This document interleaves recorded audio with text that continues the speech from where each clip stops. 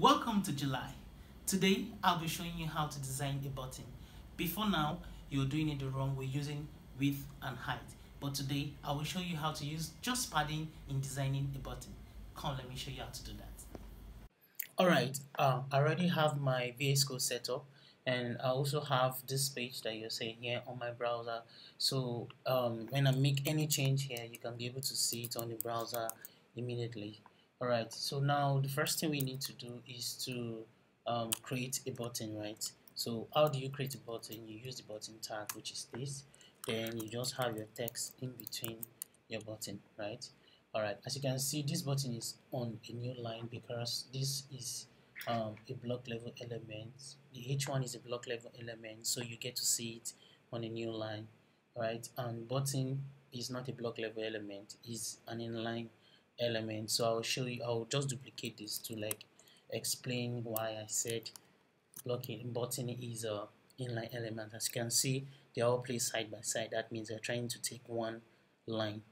Alright so this is not the reason why we're here. So I want to show you the the formal way you're, you're, you're writing your button. You are styling your button using um, height and width. Then I will show you the constraints of using height and width in designing a button right so let's just add a style here a style tag so that we can have all our styles here instead of creating an external style sheet right? So the next thing you need to do is to target your button. Let me just go directly by using the one of the um, selector type selector which is um, I'll just say button then I'll open a curly brace right that just to check that this thing is actually targeting the button here right? Then you just probably apply a background color to the button let's say red right as you can see it's actually applying the style to the button. That means we are targeting the button correctly right? So the, let me show you the way you used to do it by using um, height and um, width right? So let's remove this background color and um, there are some default style that comes with the button which is your border line. As you can see there is a border line here right? So I will just take that off by just putting border none right? So it will take out the border. So as you can see you also have like a default color right? So let me just say let me give it um let's let me give this button a color. So say background color um, let me do Dodger blue right? Alright then I'll give the text color to be white. So we have our button. Now the conventional way of um, the formal way of you writing your button using uh, height and width is for you to like say if you want the button to like have space in between them you so you go by using height right? You probably to say let's say 50 pixel and see how it looks like. Or 50 pixel is too much. Let's do 30 pixel. Alright this looks a little bit cool. Then for the the width the length of the button you end up using your width right? Your width property by saying maybe you want the button to be like 50 pixel right? Or 50 pixel is small let's do 150 alright 150 pixel right? As you can see now this this button looks cool but where you start having issues when you probably write a reusable component for button like people who are writing react or vue or angular and you want to like make this button reusable where anybody can call the button and pass whatever text you need to pass into the button so the way you have issues like when we are having a text that is longer than the, the width of the button right? So I'll do something like this. Let's say download my song here right? As you can see you're already having a constraint. The text inside this button is already floating to the next line. And if you continue and if the person is like using a text that is greater than the width of the container which is um, um, 150 pixel. You see that the button is already having a new line. Though probably you can also use this a css property called white space to say no wrap right? So that you're telling the button not to wrap into another line right? But as you can see the button text is floating out of the button container itself right? So it's not advisable for you to use width and height in designing your button. So I'll show you a trick by using just padding. So I'll take out this padding right? And also I'll leave this white space like white space um, no wrap white space no wrap is telling the text not to move to the next line. So irrespective of the width of the button the text the irrespective of the width of the container where the button will be placed the text will always still be on a line single line it will not break down to the next line.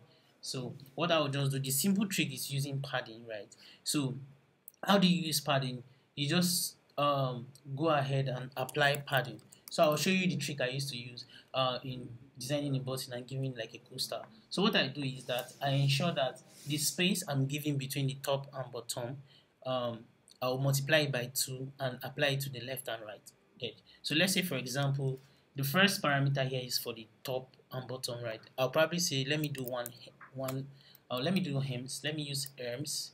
So ERMS is um, a measuring unit for CSS. So hems we have hems, we have um, pixel, we have rems, we have um, percentage, we have VH which is view height or WH which is width uh, your width height, right? So uh, view width, sorry VW.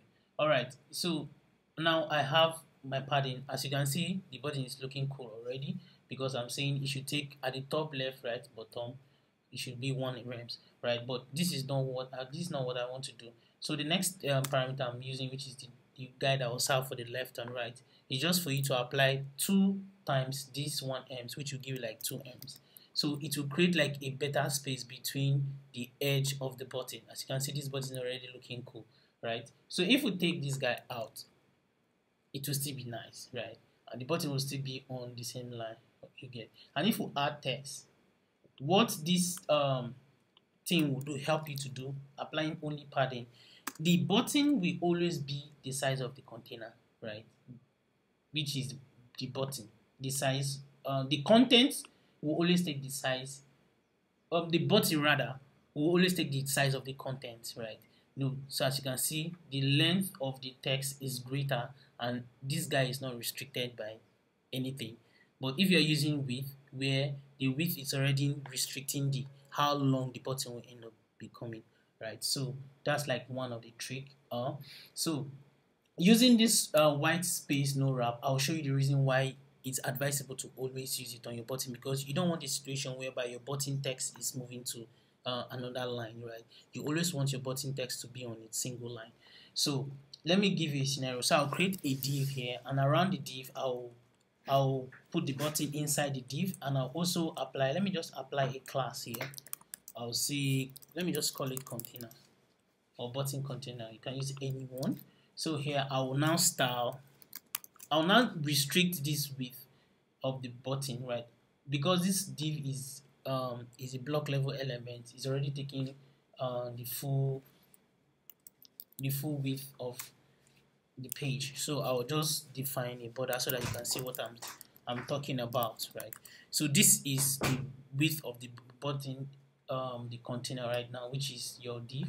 So I'll just restrict the width to like 150 pixel oh sorry width of 150 pixel right and this is how it turns out to be. So this is the point where you need your white space no wrap so irrespective of how the width of the container will end up be you also want your button to be on the text of your button to be on one line. So you turn this guy on which I just turned off and you have this guy kicking off the container right? But there are rare case rare scenario where you your text of your button will be this long, right?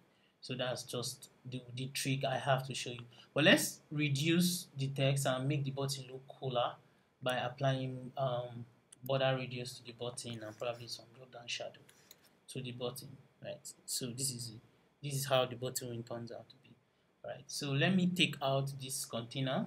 Let me just take out the style to still just be nice. Um, um, then I'll apply border radius to bottom. Let me just organize this. Sorry, this color go up, padding, then white space since it's a text um, property. So I'll just leave this guy like this.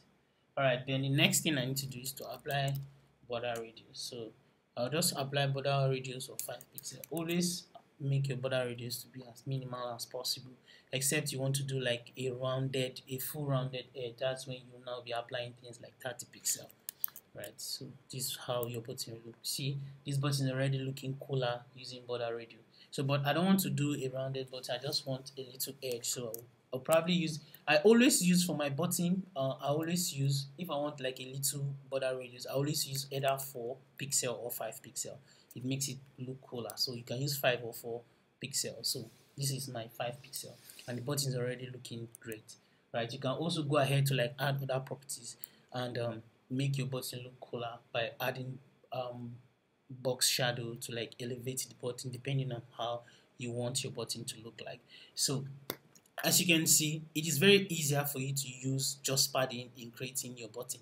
And I believe today you've also learned how to apply white space no wrap which is like one of the text properties you can use to tell your text not to break to the next line and which is one of the like coolest CSS property I've ever encountered while designing button.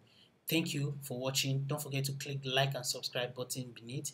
And if you want more of this, um, subscribe to my YouTube channel. And every week I keep dropping video content so you get to learn more on how to use CSS and HTML in designing your web and making the web look good. Thank you for staying tuned. Happy new month and go and do exploit. Thank you.